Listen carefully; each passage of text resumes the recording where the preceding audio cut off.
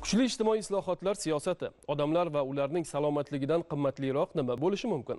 Bu jarayonda shunchaki balandparvoz shiorlar emas balki haqiqiy amaliy ishlarga e'tibor qaratish juda muhimdir. Shu boisdan sog'liqni saqlash sohasida amalga oshirilayotgan islohotlarning borishi o'zbekiston respublikasi prezidenti shavkat mirziyoyevning shaxsan nazoratida. Navbatdagi manzil bolalar gematologiyasi onkologiyasi va klinik immunologiyasi markazi bo'ldi. Mamlakatimiz rahbari markaz faoliyati yaratilgan shart sharoitlar bilan tanishdi. Bu yerda mahalliy va xorijdan kelgan malakali mutaxassislar mehnat qilmoqda. Davolash va diagnostika standartlari esa yangilangan. Shu bilan bir qatorda bolalarning ta'lim tarbiyasiga e'tibor kuchaytirilgan. Zamin fondi tomonidan bu yerda 40 o'rinli mehrli maktab va 30 o'rinli ilk qadam bolalar bog'chalari tashkil etilgan. Prezidentimiz ushbu maskanda bolalar bilan suhbatlashdi. Ularni qo'llab quvvatladi farzandlarimiz yolg'iz emasligini davlat ular bilan birga ekanligini ta'kidladi. Ushbu markaz negizida ilmni rivojlantirish muhimligi ta'kidlandi. Shuningdek davlatimiz rahbari raisligida onalik va bolalikni himoya qilish masalalariga bag'ishlangan video selektor yig'ilishi ham bo'lib o'tdi. Barcha masalalar eng kichik detallargacha muhokama qilindi. Xususan barcha tug'ilxonalarda yangi tug'ilgan chaqaloqlarning eshitish qobiliyatini tekshirish amaliyotini joriy etish bo'yicha topshiriq berildi.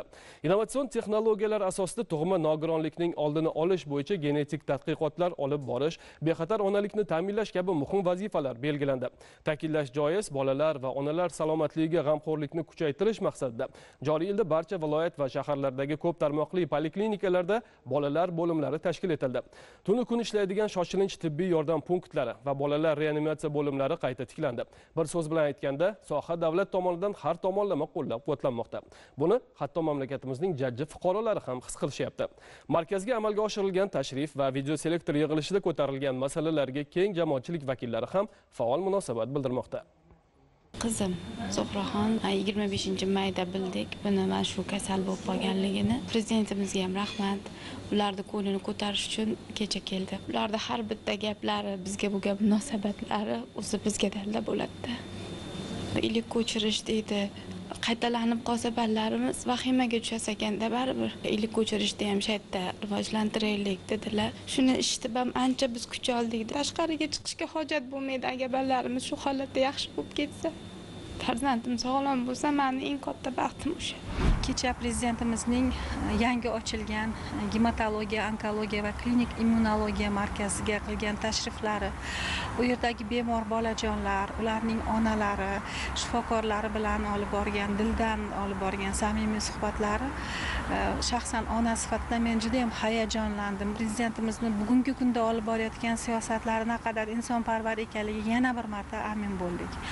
Bu dunyoda hech kimni bolasi kasal bo'lmasin. Ayniqsa shu bolasi bolasiga dard yopishgan paytda nafaqat ona butun oila a'zolarining bor fikri zikri uni davolatishga qaratiladi. Mana bu markazdagi barcha sharoitlar e, va dori vositalarining bepul qilib berilishi.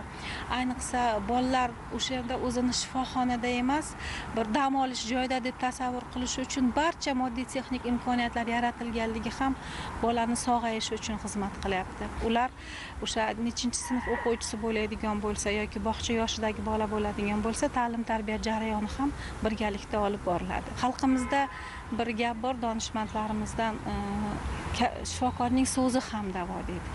Demak o'sha yaxshi so'z sen sog'ayib ketasan degan ishonch ham e, o'sha yana ham tezroq sog'ayishiga turtki bo'ladi yordam bo'ladi. Kecha mana shu ishonchni e, prezidentimiz har bir bolajonga bera oldilar. Va bu e, sohada prezidentimizni o'zlari ibrat namunasi bo'lib o'sha har bitta yangi ochilgan markazga borib ham betob bolalar bilan ham shifokorlar bilan ham onalar bilan dildan suhbat qurishlari yaratilgan imkoniyatlarni ko'rib va bu imkoniyatdan shifokorlarimiz qay darajada unumli foydalana olayotganliklari va eng oxirida natijalar qanday bo'lyapti? O'sha davolanishning oxirida onalar rozimi e, e, sog'ayishga qarab ketayotgan bolalarni kayfiyati qanaqa? Har biri bilan o'zlari shaxsan tanishayotganliklari ham tizimda ishlayotgan shifokorlarni ham yanada hushyorlikka chaqirish barobarida o'sha bemor bolalarning onalarida ham o'zlarida ham vatanga ishonch prezidentga ishonch bolasini sog'ayib ertaga yurtga xizmat qiladigan e, inson qilib yetishtirish uchun ham katta ishonch paydo qildi. O'tgan yili kattalar onkogematologiya u yerda ham bolalar yotardi ham kattalar yotardi. Bitta palatada to'rttadan odam yotardi umuman sharoit yo'q edi haligi joy bo'lmagandan yerlarda ham yotardi.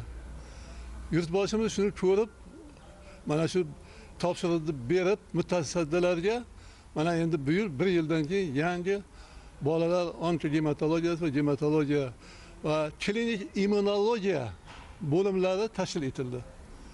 Bu nimadan darak beradi? Yurtboshimizni bolalarga bo'lgan e'tiborlaridan darak beradi. Hozir shifo maskanida bitta ona bitta bola yotibdi. A bu sharoit qachon bo'lgan? Onalarni yig'lab gapirgan so'zlarini eshitib mani ko'zimga yosh tushib ketdi yurtboshimiz mana shu bolalar bilan gaplashib bitta gap nima uchun man onalar bilan bolalarga bitta palata qilib beryapman? Nima uchun bularga e'tibor qilyapman dedilar. Shu onani xursandchiligini ko'rib bolada immunitet kuchayadi dedilar. Inson qadrini ulug'lashni yaqqol namunasi bilsak bo'ladi. Hozir to'qson sakkiz yuz foiz dori darmondan to'liq ta'minlandi.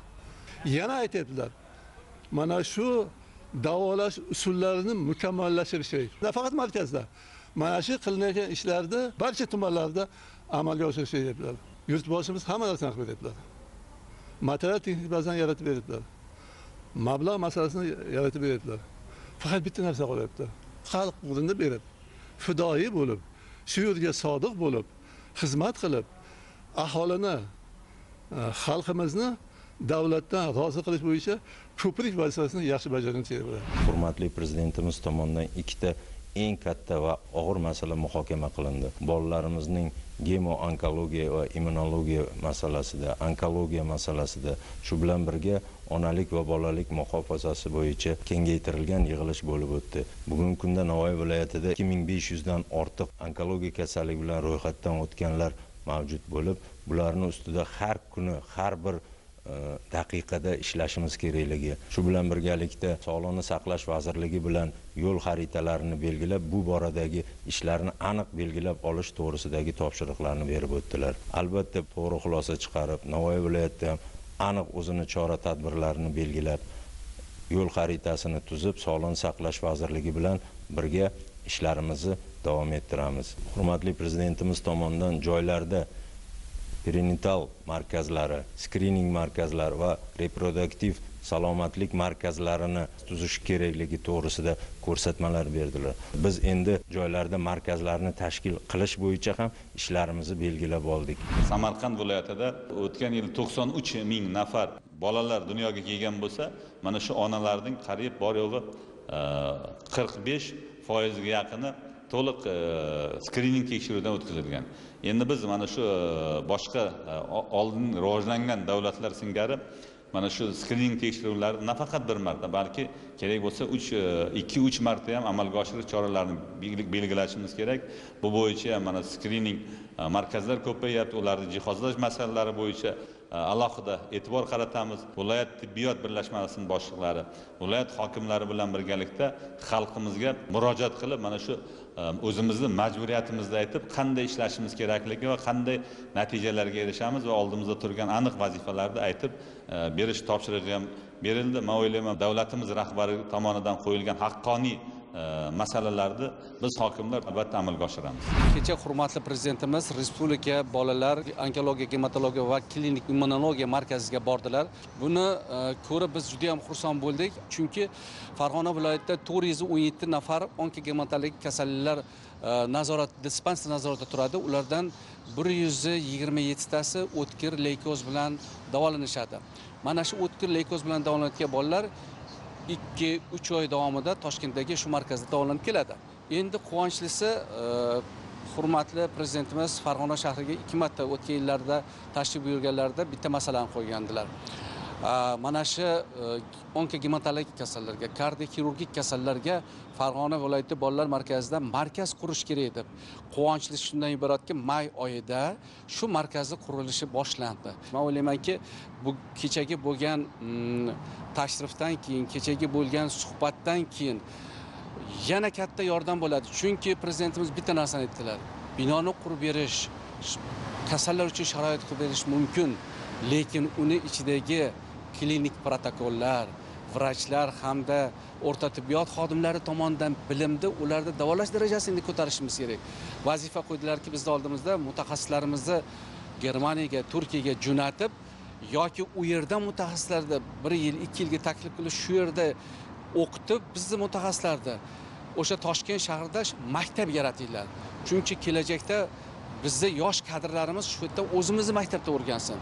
Eng asosiy og'ir tomoni bu o'sha laboratoriya xizmati. Shu laboratoriya xizmatini shu yerda toshkentda hamma analizlarni qiladigan. Undan keyin viloyatlarda mana shu laboratoriyada shu yerda ana tahlillarni o'tkazib shu yerda tashxisni qo'yib shu yerda biz o'ylaymanki bemorlarimizni shu yerda to'liq davlatimiz rahbari xohlaganlaridek bizdan talab qiladiganlardek o'sha tibbiyotni aholiga yetkazib ularni biz xursand qilamiz degan umiddaman.